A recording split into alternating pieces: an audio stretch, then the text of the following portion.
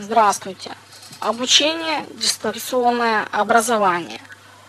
А, в обычном университете сложно учиться, прийти на первую пару, выстоять в пробках и слушать э, второстепенные предметы, которые вас не продвигают по жизни. А я человек, который любит говорить по существу. То есть лучше всего в жизни выучить английский язык, поверьте. А английский язык расширяет ваши возможности бесконечно. Вы можете устроиться на западную работу, можете эмигрировать, можете заниматься бизнесом. То есть, если вы живете в маленьком городке, вы можете зайти на сайт Amazon или eBay. Это крупные магазины, где можно выставлять товары онлайн и продавать, и жить на разницу. Разница по ценам просто невероятная. То есть западные клиенты, они самые обеспеченные. А для этого нужны знания. Знания какие? Английский язык. Не учите постороннюю ерунду. А я носитель английского языка, живу в Канаде. Я репетитор и причем успешный. А хочу сказать, что процесс надо поставить на научную основу.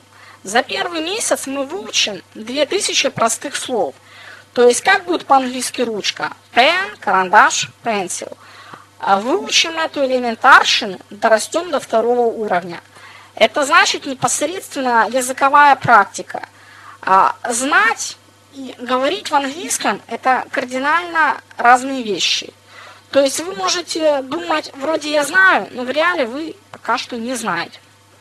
Это надо закрепить в разговоре. То есть есть а, предложения, которые у вас должны крутиться на языке сходу. Это мы сделаем за три месяца. А пятый, шестой месяц вы выучите еще 2000 слов. То есть 5000 слов. А поскольку вы живете в эпоху компьютера, напишите после моего подкаста запрос, сколько надо слов знать в английском языке. Выведет 5000. Почему?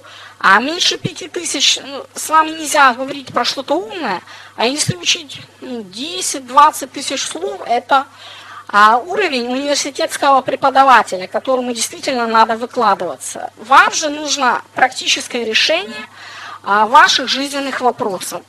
У меня тоже есть жизненный вопрос. Мне нужны ученики, я их получу. Как?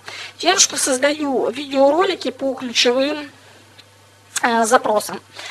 То есть предлагаю сотрудничество. Я знающий, толковый преподаватель английского плюс носитель языка. А русский преподаватель, он не знает английского, поверьте. Он ведет вас не туда. Это называется спорщенный телефон. Учитесь у носителей языка. Native speaker. Контрольное слово. Я честный преподаватель, сперва работаю, потом вы платите. Теперь глянем более простым бытовым взглядом. Вы с утра встали, проспали занятия. В другом месте с вас бы высчитали деньги вперед. А у нас это будет по-другому. То есть сперва я работаю, потом вы платите. Вы застрахованы, что а, ваши деньги снимутся без вашего участия. А, плюс можно переносить занятия. Я понимаю, что командировка либо поездка куда-либо, ну раз в неделю будьте добры найти время.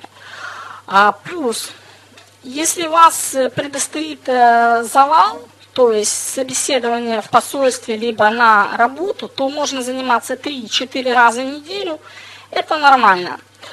А самое важное в языке – это не перегорать. То есть от языка вы должны получать удовольствие. Если вы штурмуете по 6 часов каждый день, фу, это жесть, не надо. У вас будет аллергия потом на язык. С языка надо получать удовольствие. То есть э, хорошее упражнение для вас. Подходите к зеркалу и говорите damn, I'm good. То есть перевод, я необычайно хороший, либо хорошая. А, плюс, я успешный преподаватель. Другие учителя, они, они делают вид. Это имитация бурной деятельности. То есть надо взять книжку с грамматики и заставить бедного студента штудировать ее а потом топить по ключам ответам с грамматики. Нет, я владею разговорным языком, и я вас буду тренировать в формате живой беседы. А, всего наилучшего, и мы не в скайпе Smart Teacher 197.